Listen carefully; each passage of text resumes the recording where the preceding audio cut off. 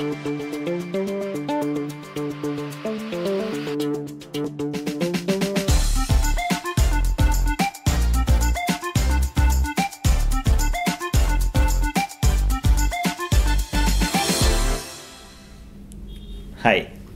So let's talk about headphone impedances today.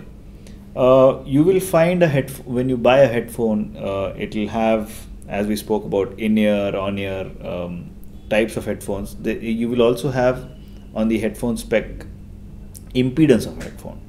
Now, usually consumer headphones like these will have something like 16 or 32 ohms, whereas uh, a professional headphone will have higher impedance, which, which could be 55 ohms, 65 ohms, or 100 plus ohms, or maybe even 250 ohms. Now, how does that um, how does that relate to reality? How does it actually matter to us while using them? So let's look at the construction of a headphone. How is headphone made? Um, headphone basically has a diaphragm inside, which is connected to a coil, which is made out of usually a copper wire, which is suspended in a fixed magnet. When the current flows through that coil, the coil produces electromagnetic field and moves according to the current and produces sound. Now, when you have consumer products or consumer headphones which are lower in impedance, the coil which is used is thicker, which is easy to uh, easy to find, easy to produce, and that thicker file, uh, that th- thicker wire, has got lesser impedance. Because of lesser impedance, your portable devices like your mobile phones or MP3 players can easily drive those headphones and produce sound. Whereas in higher end headphones, where the impedance is much much higher, the coil used is a very specialized coil. It, the wire of the coil is very specialized. It is first of all very thin. It is many times one tenth of the size of the hair also.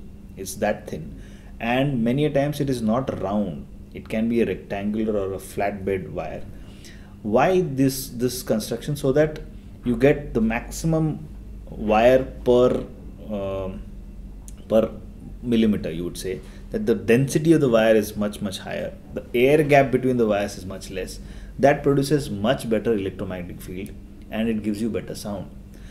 The only uh, thing is we, we need to take care of is those headphones need to be driven by a proper headphone amplifier because to drive such a high impedance headphone you need more voltage you need more current also to pump in.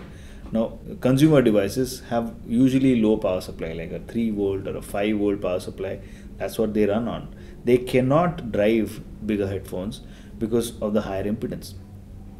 For uh, so that's that's the reason why we usually in a in a studio or in a, in a professional environment our headphones will be plugged into a headphone jack of a mixer maybe or in a in a controlled studio environment we'll have a headphone amp which will drive the high impedance headphone and will give the required voltage and power to drive those headphones to its optimum level and give you the best of the sound. So impedance uh, uh, is all depends on where we are using it and how the, the product is being used. It doesn't mean that high impedance headphones if you plug it into your phone it will not play. It will play but at a very low volume maybe and the, the the headphone is not playing at its best if you want the best out of that headphone that needs to be plugged into a headphone amp which can deliver enough power to the headphone and give you the best sound experience